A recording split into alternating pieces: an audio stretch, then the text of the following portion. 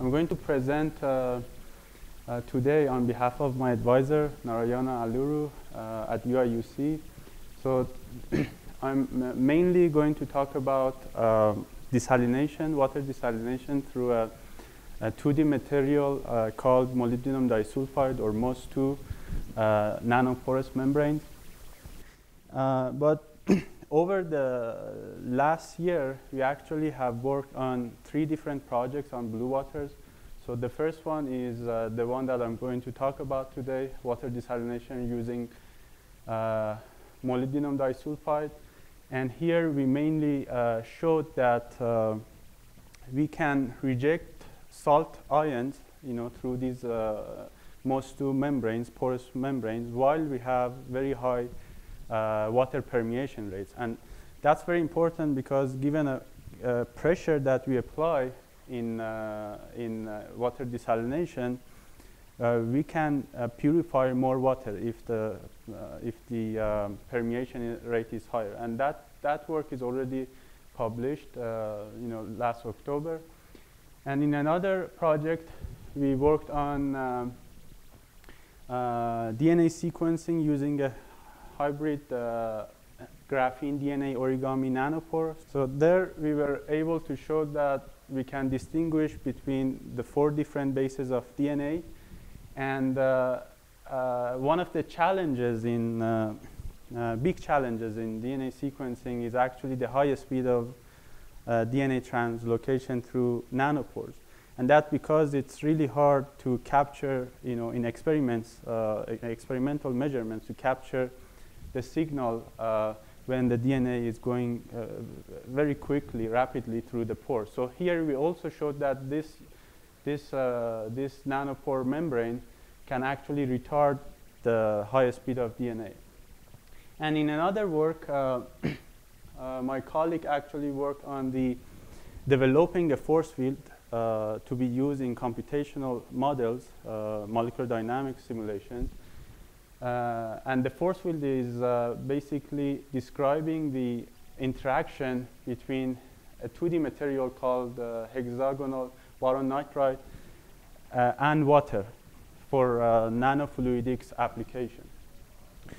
Okay, so um, one of the things that we really benefited from blue waters, using blue waters, especially in quantum calculations, the, the last work uh, that I just mentioned, was that we, uh, we have a large amount of memory on each node of blue waters. And that's really important when you are dealing with um, large, uh, large size of quantum calculations where we have too many electrons and you need uh, lots of memory for that. So that's uh, very beneficial to us. And here we also have the scaling of our codes, uh, both quantum and uh, you know molecular dynamic simulations. So as you can see, they pretty uh, they they scale pretty well with number of cores on blue waters. So that's very good news. And also, we burned almost 700k node hours on Blue Waters for these three projects. So let me just go and, and talk about uh, water desalination. So as I mentioned, one of, one of the challenges that uh, we have in uh, reverse osmosis, one of the methods in desalination technology is the permeation, the low permeation rate of water through these uh, porous membranes because uh, you don't get to uh, purify that much water. So one solution to that uh, is to actually use very thin membranes. That's because flux or water transport rate uh, scales inversely with the thickness of the membrane. So uh, one, one good example, I mean, solution candidate would be graphene because it's just one atom thick and, uh, and uh, we should expect, you know, very high uh, transport rate of water. And people actually have worked on graphene extensively and they showed that you know, we can get very high permeation rates and uh, actually um, two, three years ago in MIT, they, they also showed that if you add hydrophilic uh, groups to the edge of the nanopore, like hydro, uh, hydroxyl uh, groups to the edge of the nanopore, you can get even more, uh, you know, even higher permeation rate.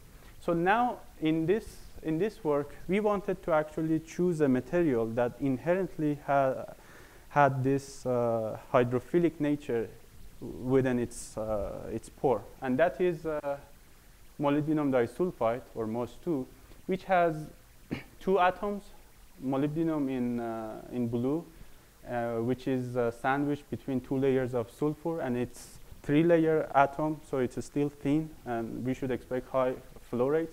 And molybdenum is highly hydrophilic.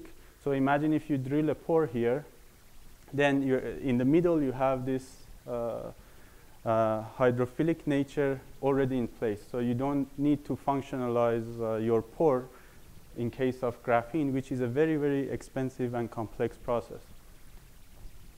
Okay. so for our simulations, uh, we did uh, molecular dynamic simulations. So here we have the uh, MOS2 nanopore. That's the nanopore here. That's the membrane.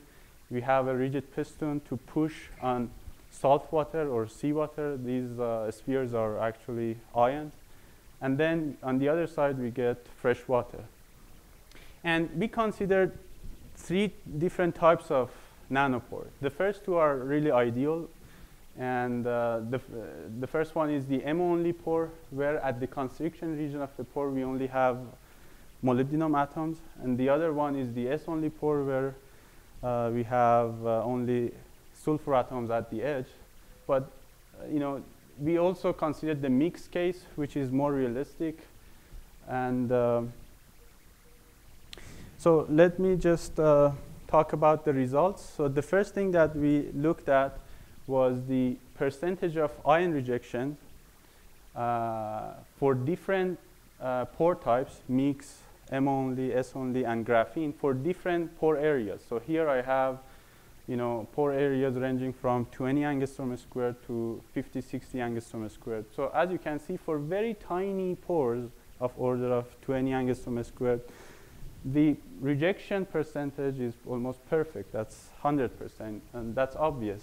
And as you increase that, that size, that uh, nanopore size, I mean, the ions start to go through and your rejection will go down.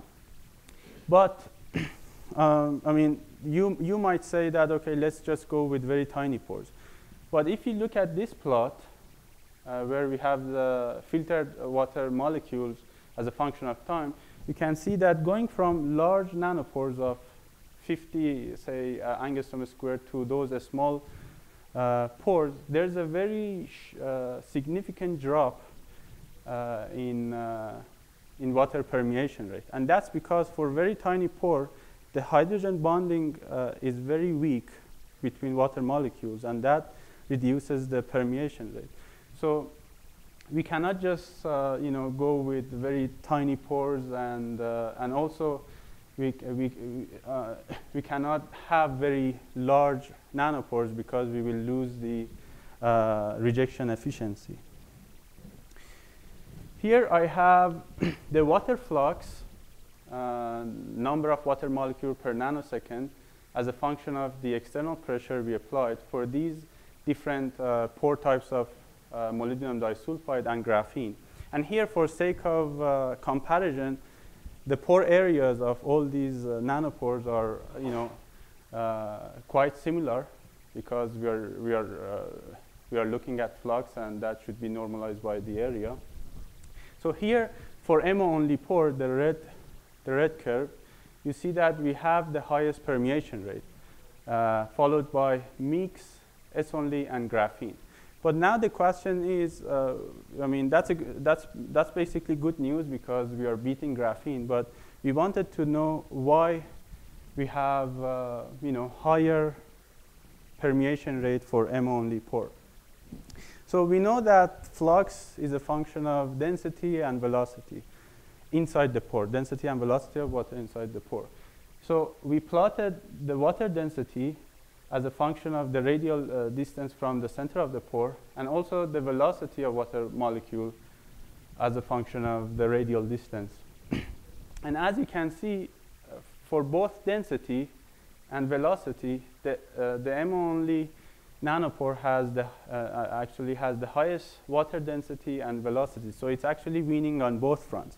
For density, it's obvious because MO is uh, highly hydrophilic, so it attracts more water, so that's obvious. But it was not uh, clear to us, to us uh, at, at the time why MO only has you know, higher velocity. So to answer that, we, uh, we thought that uh, might be because of the geometry, the unique geometry of the pore. So if you look at the M-only pore, it's kind of co conical. It's, uh, it has a hourglass shape, whereas for the S-only pore, it's almost flat. So what we did here, we plotted the velocity profiles uh, at the site of uh, uh, molybdenum atoms and sulfur atoms. And this is what we got for M only and S only.